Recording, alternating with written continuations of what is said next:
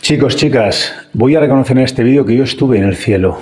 Estuve en el cielo y os voy a contar mi experiencia. Claro, obviamente no voy a hablar del cielo de una religión, voy a hablar del cielo en el que yo estuve. Y luego también os voy a contar algo que conté en un vídeo en Instagram que tuvo mucho éxito y que compartió además Josep Pamies después en su Instagram también respecto a la experiencia de muerte de mi padre, que también estuvo en el cielo.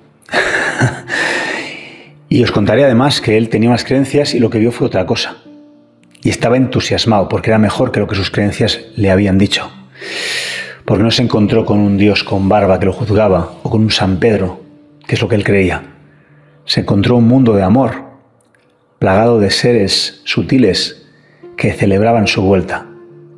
Y volvió, después de estar 15 minutos sin respirar, y ya te lo cuento antes de la, en la introducción para que lo sepas, volvió para contarle a la familia lo que había visto y luego esa noche se fue con una sonrisa, tranquilo y en paz. Porque él tenía miedo, obvio, ¿no?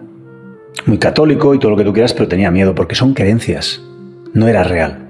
Pero cuando vio lo que él vio y sintió lo que él sintió, ya no tuvo miedo. Era el cielo, era el camino hacia el cielo. ¿Qué es el cielo?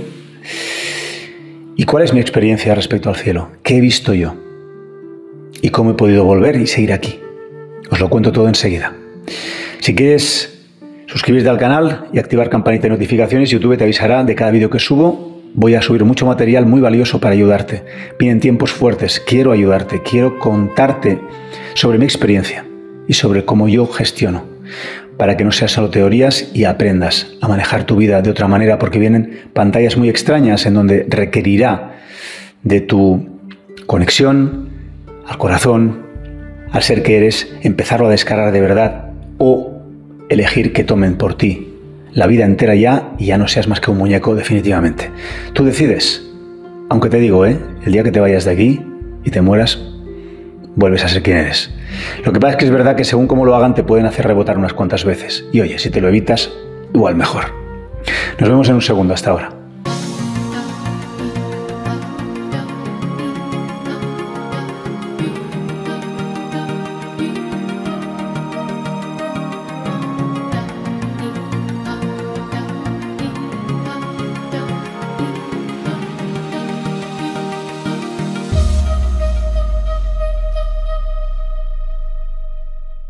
Hola a todos, resplandecientes, espero que estéis resplandeciendo con estos Super Saiyajin que están aquí brillando como super guerreros que son.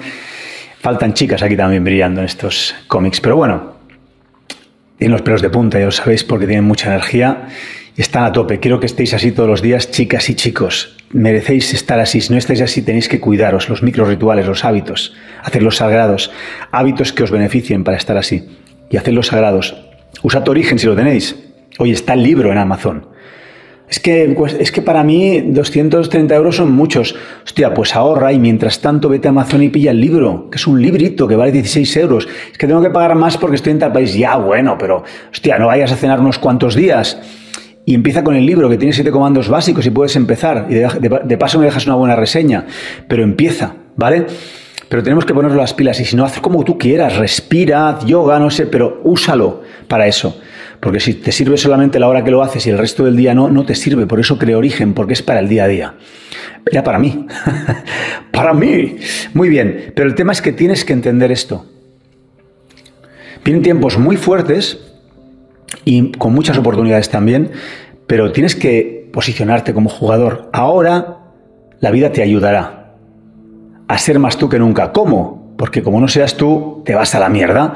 Tú estiras, hostia, pues voy a ser yo. Claro, ¿o qué te creías? ¿Que todo vendría en plan florecitas flotando por aquí? No, no, no. Te voy a apretar de tal manera que o eres tú o te vendes completamente el alma. Y asume la consecuencia y ya está. Que no pasa nada. Que con el tiempo tú volverás a casa. Porque eres un ser poderoso y esto es una simulación, pero si te atrapo mucho tiempo a la simulación, mejor para mí, que soy el que manipula a los que están aquí en mi cajita, en mi reducto que llamamos esta realidad, que es una cajita a la que hemos querido venir a experimentar. Es como un parchís o como la oca. ¿eh? Voy a jugar un rato y luego me voy. Ahora, si me pillas aquí toda una tarde y no me doy cuenta, acabo de tirar toda la tarde al aire, pero nada más, soy eterno, no hay problema. ¿Vale? Lo que pasa es que sí es interesante que ya que estás aquí, lo hagas. Y vuelves antes a casa, o yo qué sé, o vuelves más contento, ¿no?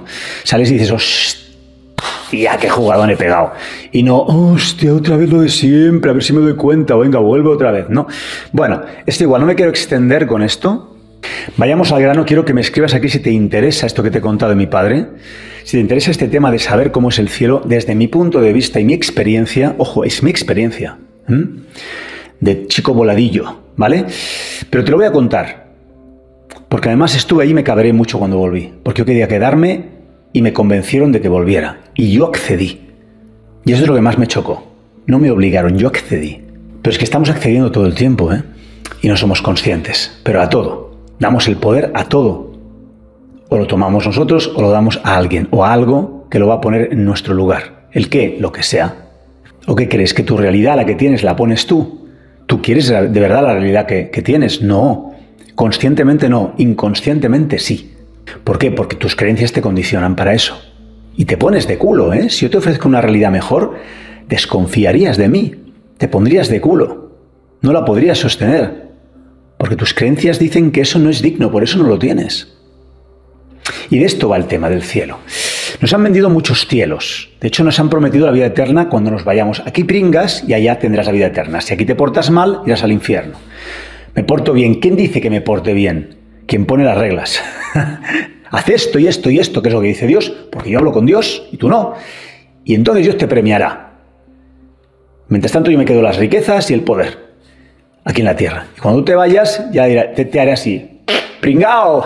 ¡Te la he colado! Y cuando vuelvas otra vez, porque como vuelves y vuelves a hacer lo mismo, porque no te acuerdas, entonces eso es lo que tenéis que entender. Nada más que eso. Y tú dices, hostia, pero bueno, al menos aprendí esto y esto otra vez y la próxima vez me doy cuenta, ¿no? Bien, entonces ese cielo que te han vendido desde tantos lugares es un cielo que les ha interesado a los que te manejaban. Así lo veo yo, así lo siento yo. Que no significa que no haya una parte interesante, porque al final yo creo que tú vas a encontrar lo que tú creas encontrar. Uno encuentra lo que cree que va a encontrar. Uno encuentra el infierno que cree que va a encontrar, el cielo que, cree que va a encontrar, y cuando ya traspasa ese velo y tienes ayudas, de ese imaginario que llamaban muchas culturas iniciáticas, el imaginario para nosotros serían los mundos sutiles, ¿vale? Entonces ya conectas con algo más allá. Y yo recuerdo haber cruzado eso, no sé de qué manera, y haberme largado a un lugar, a un mundo, porque no vi planetas, ni vi, yo vi puertas y mundos. O sea, yo nunca he visto planetas cuando he salido. No sé, yo nunca he visto planetas. Es verdad que te puedes condicionar y quizá si crees en los planetas, pues puedes salir ver planetas, porque al final el imaginario crea lo que quiera. Pero yo más que planetas he visto puertas.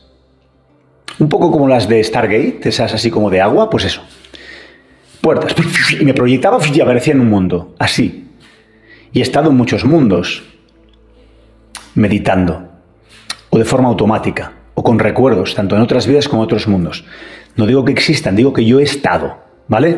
Ahora, yo en una de esas estaba en un terrado, sentado, meditando, descansando de un trabajo que trabajan, podríamos líneas en los terrados. Hablo de muchísimos años, yo he hecho muchísimos trabajos antes de estar aquí, muchísimas cosas. Y recuerdo que no me quería dormir y me quedé ahí. Digo, bueno, no me duermo y de repente, como me pasa a veces, me salí. Pero esta vez no me salí por aquí, me fui a tomar por culo. Y me fui a un mundo muy parecido a lo que podría ser un cielo, que era un mundo perfecto, maravilloso, increíble, tecnológico y espectacularmente natural, ideal. Y ahí todos me conocían. Y todos me celebraban. ¡Wow! ¡Está aquí! ¡Está aquí! y de repente digo, hostia, qué guay, los conocía a todos y a todas, o no sé, a todos, porque yo no sé qué era exactamente, no tengo el recuerdo claro de, yo creo que eran hombres y mujeres, ¿eh? pero no estoy al 100% seguro porque luego tuve un shock cuando volví, ¿no? Y de repente me celebran, me explican cosas que no recuerdo, y yo me sentía y entendía todo, pero todo es la vida entera, ¿eh? Todo sin, pensar, lo tenía asumido dentro de mí, no pude procesarlo cuando volví, imposible explicar eso, porque era algo más allá de la, de la cabeza y de la mente propia que yo pueda tener como para argumentar y desarrollar algo, no podía hacer eso. Y de repente, cuando vieron que yo tenía intención de quedarme, me dijeron, por favor, no tienes que volver. Te hemos llamado para ayudarte, para que recuerdes, pero no, no, no puedes quedarte aquí. Y yo decía, no, no, yo me quedo. Y no se atrevían a contradecirme. Y entonces me dijeron en un momento, quiero que recuerdes por qué estás haciendo lo que estás haciendo. Entonces me tocaron, creo que fue con la mano, no estoy muy seguro, y de repente recordé. Recordé, no sé de qué manera, que yo quería estar en la tierra y seguir aquí, y dije, hostia, es verdad, vuelvo. Y, y entonces abrí los ojos, estaba en el terrado y dije, hijos de puta, me la habéis colado. Cabrones, estuve renegando 10 minutos que el tío que trabajaba conmigo, que estaba al lado durmiendo, pegó un bote. ¿Qué te pasa? Y yo, espera un segundo, hijos de puta. Pero ya estábamos, ya estábamos ahí, yo, bueno, yo estaba con mi maestro, ya estábamos ahí como, como en estos temas, ¿no? Eh, y, yo le expliqué después, no, tío, es que me ha pasado esto. Hostia, qué fuerte, tío, porque ya sabía que me pasaban cosas, ¿no? Y era el único, él y otra persona que me escuchaban, porque el resto, pues claro, no le podías contar nada a nadie. En esa época, pensás que yo hablo cuando no había internet. Tenía igual veintipico años. Bien, para mí eso fue un contacto con el posible cielo. Es un lugar del que tú provienes, que obviamente vienes de todas partes, somos uno y seguramente hay miles de mundos en donde, eres miles de cosas, pero es como un lugar en donde ya tienes conciencia de quién eres, donde ya tienes conciencia de los otros mundos, donde ya tienes...